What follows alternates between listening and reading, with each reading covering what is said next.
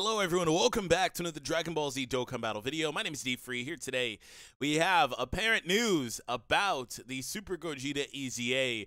Apparently his stats, not really, I don't know if the stats in particular leaked, but we'll come back to that. We'll figure it out together. But anyways, apparently the passive was leaked. So anyways, hope you guys enjoy. Hit subscribe if you're new for more content. Again, huge shout out to Team Dokkaner as well for this information. So let's go ahead and jump into it. So here we go. This is regular Gogeta right here.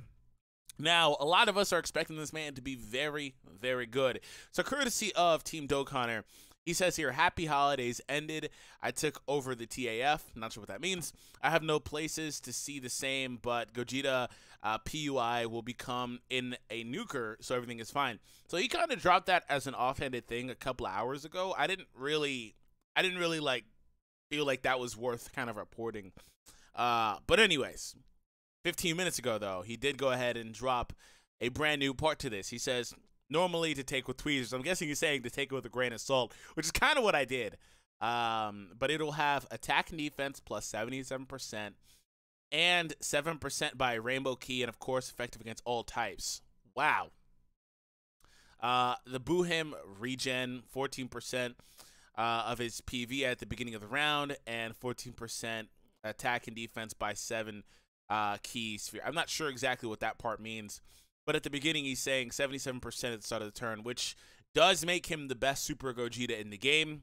Uh, yes, Super Gogeta, not Super Saiyan Gogeta, because there is that brand new Super Saiyan Gogeta. But yes, Super Gogeta, that does make him the best one in the game, uh, especially because he picks up defense. The Int one does not pick up defense. Uh, the stat difference between them, and then of course the SA15 does just put him way above the Int one, even though the Int one has like 100 or what 120% passive. So, anyways, moving on.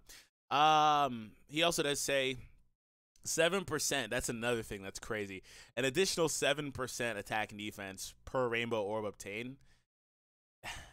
You can only get a maximum of five rainbow orbs, but that's incredibly uncommon. In most scenarios, you get three or four maximum, right?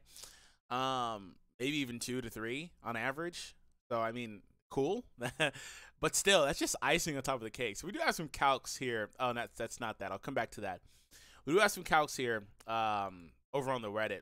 So shout out to Reddit for this one. This is assuming that the leaks from Dokkaner are real. Uh, sample calculation. LR Goku and Vegeta leader skill. Um, so the fusion category leader skill, the LR Gogeta. And then we come all the way down, SA15.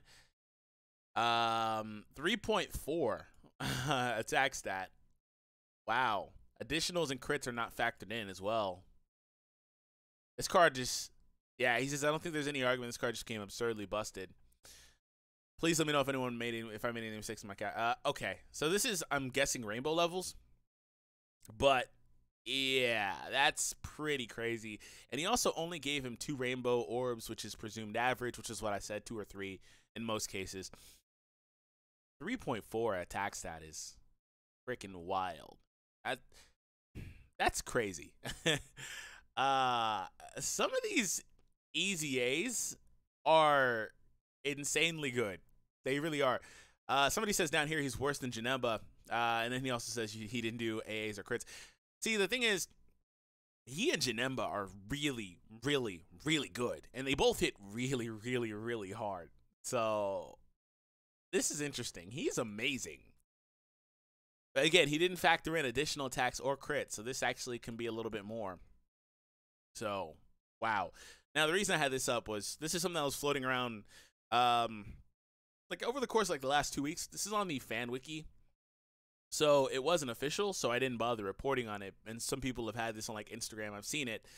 Um, I will just kind of go ahead and say I do think that the leader skill will be about this: all types three Ki, sixty percent. Uh, I think that's a good number. It might it might be 70, but 60 I think is a good number for the way that they handle the game.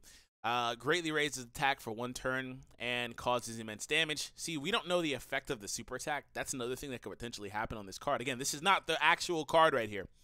Um, so when it comes to this guy, Dokkaner didn't mention from what I saw the any sort of effects on the attack. He might have mentioned it in the comments in here, but I didn't really see it anywhere. But anyways, there could be some sort of effect on the super attack, which would just make him even better, right? Any sort of attack raise. I'm hoping he gets a some sort of debuff because that that just seems to be a little bit better uh, for some of these newer units. Or I don't think he's gonna get stunned, but that would be cool for Hit. You know, and I I don't know when you'd ever run him on the same team, but just because, man. All right. So that being said, we're gonna come back over here. Um, so if he does do that, that's fine. But this is actually relatively close, which is crazy. Uh, 80% attack, which is about pretty much the same thing. Attacks effective against all types, and 7% attack per rainbow Ki sphere. That's pretty much the same thing. So they were actually really spot on with this. So defense is off, but he was going to get defense for sure. That's just the trend of all the new units. So pretty much, again, to summarize, he does get 77% attack and defense at the start of the turn. It does appear that he gets an additional 7% attack and defense uh, per rainbow orb obtained, but I will mention that the 7% could just be uh, the attack gain as well and also still keeps the effective against all types mechanic that he had. And then the last part here, Boo regen, 14% of his uh, PV at the beginning of the round and 14% uh, attack and defense. See right here is where he's mentioning attack and defense, 7% by rainbow orbs. I feel like there's something else in here. Um, maybe his super attack recovers HP. That could be it. I'm not sure. But anyways, thank you guys for tuning in. Hope you guys enjoyed. Let me know what you guys think. Uh, the EZA should be coming out in a couple of days, I believe on the 10th. So stay tuned for that.